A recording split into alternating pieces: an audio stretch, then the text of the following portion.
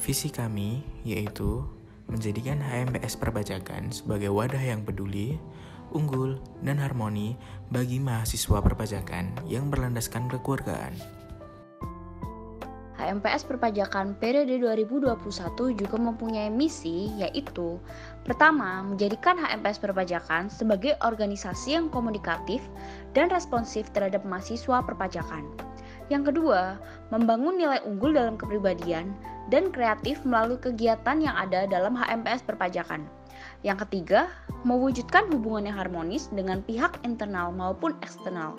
Dan yang keempat, mengoptimalkan fungsi dari HMPS perpajakan, serta meningkatkan kinerja HMPS perpajakan.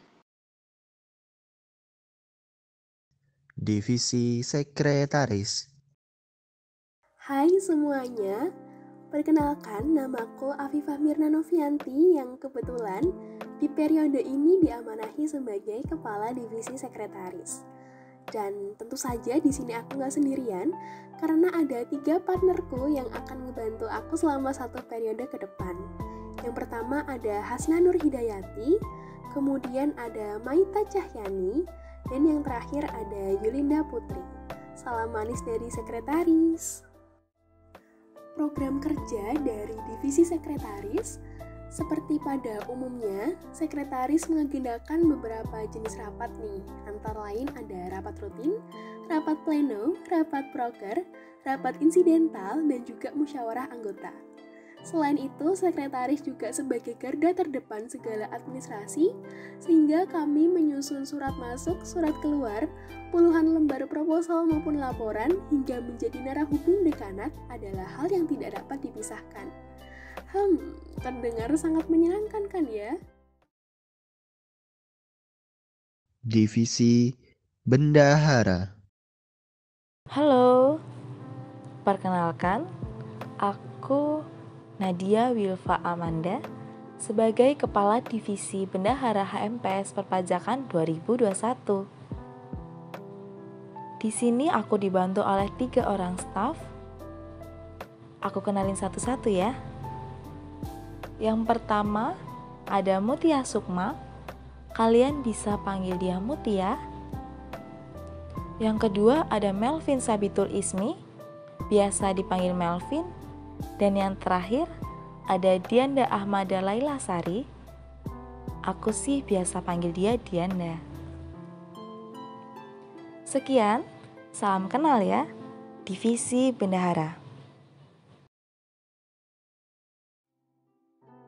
Dalam satu periode ke depan, Divisi Bendahara HMPS Perpajakan 2021 akan menjalankan proker yaitu kas bulanan.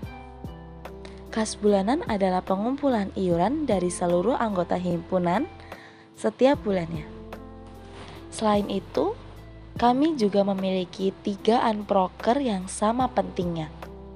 Yang pertama ada transparansi anggaran, Selanjutnya ada reward cash dan yang terakhir ada pendataan nomor rekening mahasiswa perpajakan atau biasa disebut panorama tax.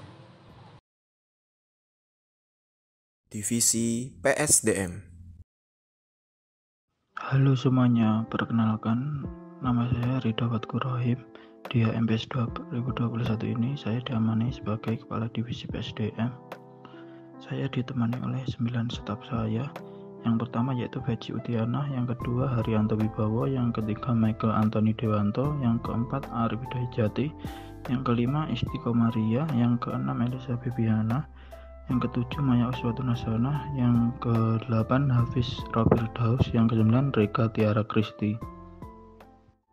Divisi PSDM yaitu divisi yang memiliki peran membangun solidaritas internal HMPS perpajakan dan mengembangkan potensi mahasiswa perpajakan di bidang non-akademik. Adapun proker dan unprokernya. Prokernya yang pertama yaitu Taxion, yang kedua Welcoming Texture, yang ketiga Fantech, yang keempat Senior, yang kelima Infection, yang keenam Text D, yang ketujuh Magang Himpunan, yang kedelapan POP, yang kesembilan PKP. Unprokernya yaitu yang pertama Pusti Kalender, yang kedua Ikatan Alumni. Divisi AKM. Hai, AKM is here.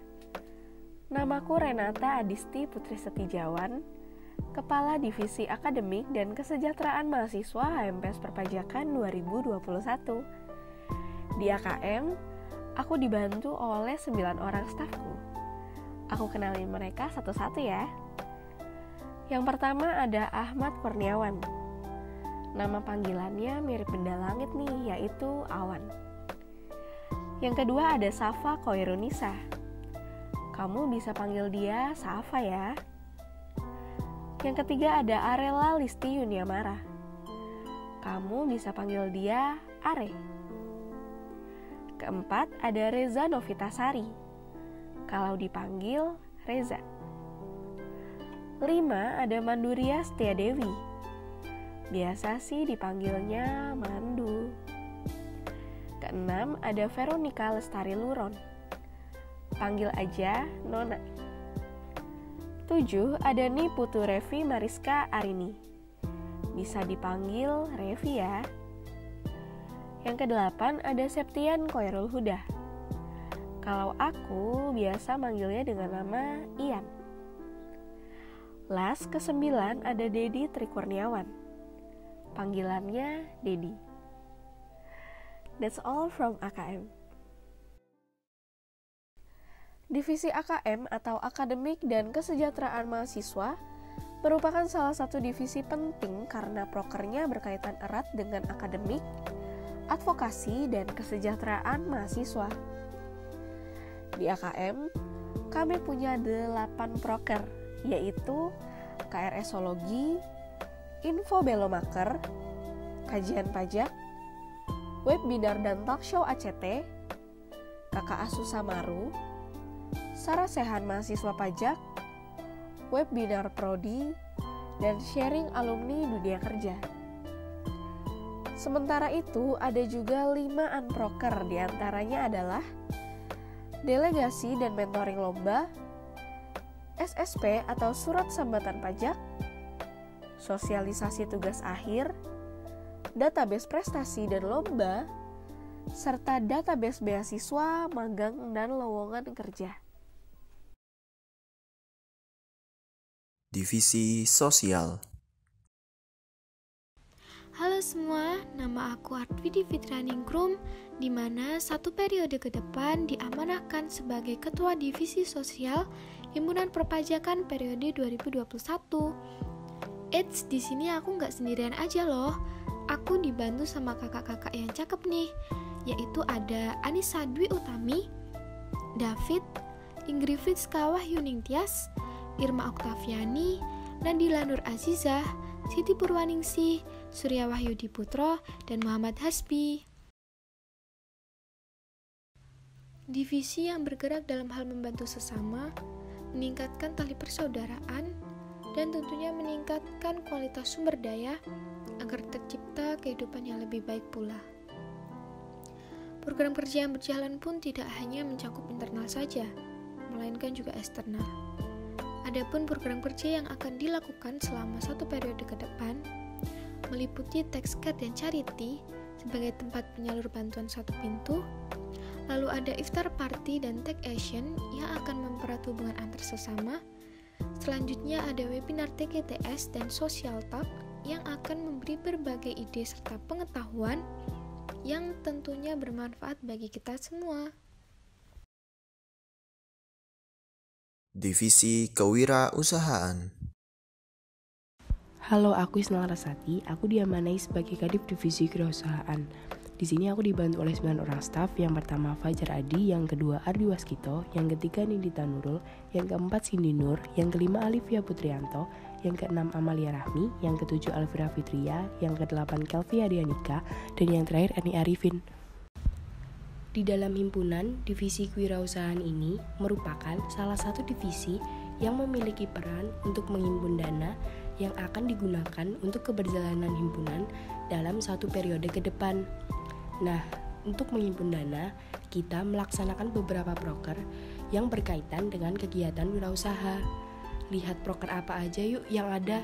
Yang pertama, ada danus atau dana usaha, yaitu kita melakukan beberapa kegiatan usaha dengan menjualkan beberapa makanan ringan atau memberikan jasa kepada halayak umum. Yang kedua, ada tax merchandise, yaitu menjualkan merchandise yang berasal dari D3 perpajakan kepada halayak umum. Yang ketiga, ada paid promote, yang keempat ada ACT Creative Competition, dan yang terakhir ada pendataan kewirausahaan mahasiswa. Nah, itu dia proker dari divisi kewirausahaan. Bukan hanya divisi kewirausahaan aja nih yang terlibat, tapi seluruh anggota himpunan juga ikut andil dan belajar bersama. Divisi Medcominfo Halo, kenalin nama aku Rahman Aditya. Di HMPS Perpajakan 2021 ini, aku diamanahi menjadi Kepala Divisi Media, Komunikasi, dan Informasi. Tentunya aku tidak sendirian di sini. Medcominfo memiliki tujuh anggota, yaitu Bimo, Bima, Hendrawan, Amel, Nesha, Fatika, dan juga Nabila. Pada periode 2021 ini, Medcominfo memiliki beberapa program kerja, yaitu majalah dinding, pengelolaan sosial media dan hubungan masyarakat, anjang sana atau kunjungan dengan himpunan lain, workshop desain dengan skala nasional, pembuatan video profil, serta foto session.